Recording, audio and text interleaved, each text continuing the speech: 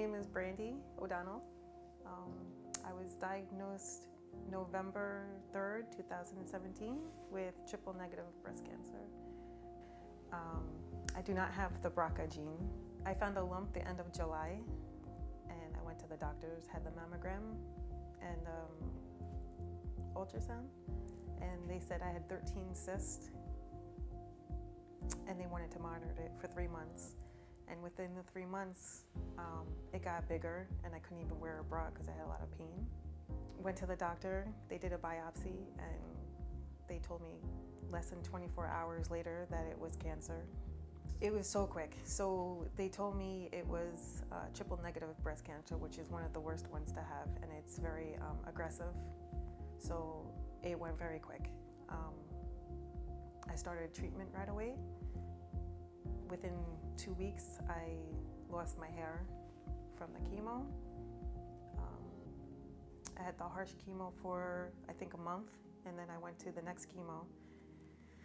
And only me, after 10 weeks of that chemo, I developed an allergic reaction to it, and they had to take me off of it. But at that moment when they took me off, the tumor had sh it shrunk drastically, so they were good with it. And then May 18th of 2018, I had a double mastectomy. Um, I had to wait a little bit um, for radiation, and then I had, um, I think it was 36 rounds of radiation. Worst surgery ever. it was horrible. And I've had C-section, but it was the worst because you have the the drains. And most people, some some cancers you don't have to do radiation, so I could have had the mastectomy and the reconstruction at the same time. But because I had triple negative, they did the radiation, so I had to wait until I healed, six months. Um, from the double double mastectomy, um, I was all bandaged up, wrapped, uh, had drains. I had, if I believe, I had four drains gosh, it was just horrible. I live alone. Um, my nephew, who is 20, came and stayed with me, so I had a little help from him, but I did mostly myself. I uh, emptied the drains and did everything.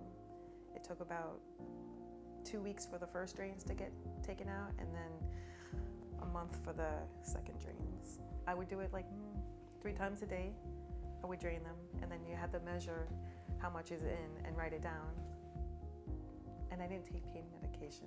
So, you know, it's very painful, especially if you don't have something to help you feel better, you know?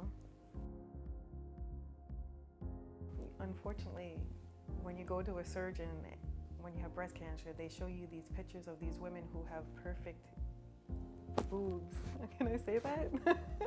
um, but they don't tell you the real outcome and that's not how it is. So devastated and very let down after the surgery. Um,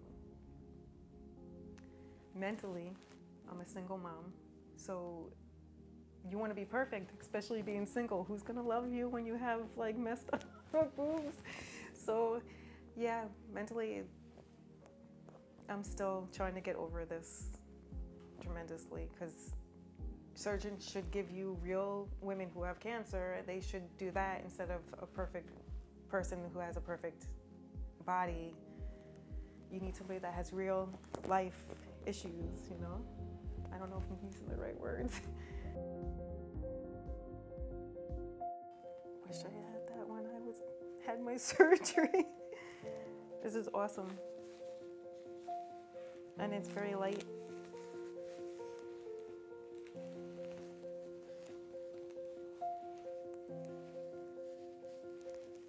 Disposable. Right? That's awesome. I wish every hospital had this. This makes it easier. You can hang the drains. I had them hooked on with safety pins. It was crazy. I didn't even want to leave my house because I was felt very awkward with it, you know. Um, and the bras are uncomfortable. This seems like it's nice material, like breathable, you know? I wish I had EZbra, definitely. It, awesome. I want to tell my surgeon about it. I really do.